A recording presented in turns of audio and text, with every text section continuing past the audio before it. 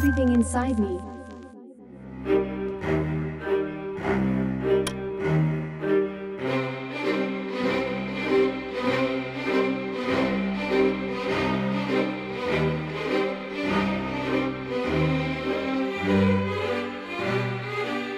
Rene Descartes writes, If you would be a real seeker of truth, it is necessary that at least once in your life you doubt, as far as possible, all things. An iconoclast is an individual who personifies a rebellious, contrarian, and oppositional spirit. They would rather reduce the world to a tabula rasa than become any kind of ideologue. More existential than teleological, more syncretistic than monistic, more unorthodox than orthodox, iconoclasts are icons of mutability, able to adapt and overcome, rather than succumb to the rigid tendencies of the human condition. The following are signs if you are an iconoclast. 1. You are rebellious in spirit. Albert Camus said, I rebel, therefore, we exist. As an iconoclast, you are not a rebel without a cause, but a rebel with a cause. Your cause is to always be in search of a better way of being human in the world. Which means you are almost always in opposition to existing ways. Especially ways that kowtow to facile authority and claim to be unquestioningly true. As such, you do not succumb to peer pressure. Just because everybody is doing it has never been a good reason to do it. You understand that the human condition is fallible, imperfect, and prone to be mistaken.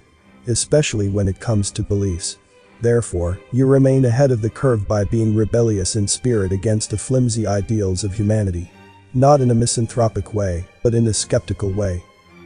Your rebellion is vigilant, circumspect, and fierce. You embrace the hypocritical nature of the human condition as a given, careful to never rest upon any laurels or certitude.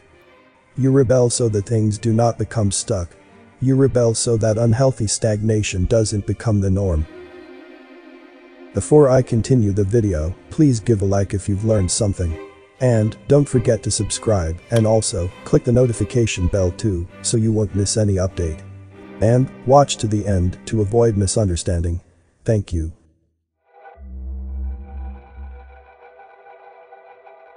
2. You are contrarian in thought. Socrates said, The only thing I know is that I know nothing. You understand that the human mind is more of a delusion generator than a truth generator. From this understanding, you use the counterintuitive strategy of contrarian thinking. You are all about turning the tables on established thought. You flip the script so that no single script ever becomes scripture. You blindside established logic and reasoning so that new logic and reasoning can emerge. You do this because you understand the weakness of human nature. You understand how easy it is to become married to an idea, theory, or belief, and to fortify them with thick walls of overthinking. But, as St. Augustine said, we are too weak to discover the truth by reason alone. You understand that truth will always be elusive. Rather than attempt to pigeonhole it, or tame it, or force it into outdated scripture and tradition, or build it up into a rigid fundamentalism, you allow it to be free. You are in opposition to any idea, theory, belief, or ideal that claims to know the truth. For you understand that the truth that can be named is not the truth. The Tao that can be told is not the eternal Tao. Your contrarian nature keeps you ahead of the curve. It keeps you on the edge of discovery and always on the verge of phenomenal experience. You are not contrary for the sake of being contrary, rather, you are contrary for the sake of allowing truth to remain free from the shackles of human delusion. 3. You challenge existing governments. Nietzsche said, All things are subject to interpretation. Whichever interpretation prevails at any given time is a function of power and not truth. You realize that power tends to corrupt. So, rather than allow power to become absolute, you choose to challenge it every chance you get. This may mean dissidence or even revolution. But, as Frederick Douglass said, those who profess to favor freedom and yet deprecate agitation are men who want crops without plowing up the ground. As an iconoclast, you are all about plowing up the ground. Especially beneath the throne of entrenched power constructs and authoritarian governments verging on tyranny. You are willing to become a martyr if need be. For freedom is more of a proactive meditation on liberty than it is a passive imitation of law and order. You understand that freedom is never a given. It must be earned. It must be a flexible dance between liberty and justice. The moment freedom is taken for granted is the moment it is lost. As an iconoclast, you are adamant about maintaining the complicated balance between liberty and justice by always questioning authority.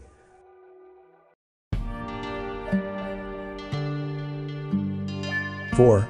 You turn the tables on the status quo. A. Bartlett Giamatti writes. Do not become one of those who only has the courage of other people's convictions.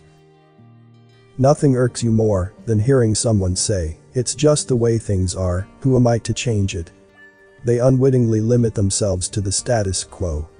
The status quo is the blind yet comfortable, ignorant yet blissful codependent majority going through the banal motions of a boring 9 to 5. Daily grind lifestyle based on fear, security, and safety. You turn the tables on the status quo by persistently taking a leap of courage out of comfortable codependence and into adventurous independence to discover interdependent providence.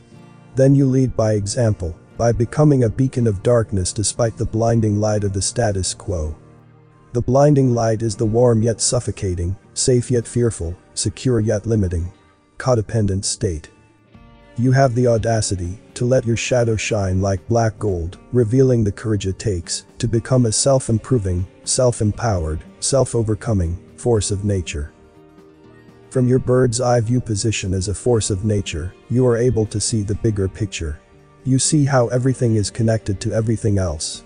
You see how the codependent majority, the status quo, doesn't know what's happening, and it doesn't even know that it doesn't know, Chomsky. Which is all the more reason to shine your darkness, or uncomfortable knowledge, into the blinding light of their all too comfortable ignorance. 5. You replace blind belief with open-minded thought. Ludwig Wittgenstein said, Philosophy is a battleground against the bewitchment of our intelligence by means of language, as an iconoclast, you are the tip of the spear in the battle against bewitchment of intelligence. You go so far as not to believe anything. That way, you are free to embrace truth, however elusive. You understand that belief itself is a hang-up. Better to simply think your way through a concept rather than believe it. In the battle against bewitchment, all beliefs, no matter how powerful or well-intended, are a hindrance to clear thought and self-improvement. Better to think rather than believe. Thinking that something might be true allows for error, fallibility, and wrongness. Believing that something is certainly true cuts us off from all other possibilities. Belief is all or nothing, predicated upon faith despite facts or evidence. Thought is open-ended, taking beliefs, facts, and evidence into deep consideration, and then using probability and validity to discover the truth. More importantly, thinking rather than believing allows for skepticism and questioning. It is considered blasphemous to question a belief. Whereas questioning a thought is considered appropriate. Might as well just skip belief altogether and simply take things into thoughtful consideration. As an iconoclast, you don't believe what you think, you question what you think. For you realize that the cure for certainty is curiosity. 6. You tend to make your own rules as an exile, outcast, or outlaw. Eliezer Yudkowsky said, you are personally responsible for becoming more ethical than the society you grew up in. You are bigger than the law, because you are proactively attempting to become more ethical than the society you grew up in. Some might call it functional anarchy, but you simply call it being free from masters. As an outlaw, you have great respect for natural laws, but not man-made laws. This is because you understand that humans are fundamentally flawed, fallible, and imperfect. As Edward Abbey wisely surmised, since few men are wise enough to rule themselves, even fewer are wise enough to rule others. At the end of the day, you are an iconoclast because you realize that we must sow a little revolution if we are to reap a little evolution. You are determined to plant your heels deep into the ground, to lay your shield low, and to declare to the powers that be, as Henry David Thoreau did. I was not designed to be forced. I will breathe after my own fashion. Let us see who is the strongest.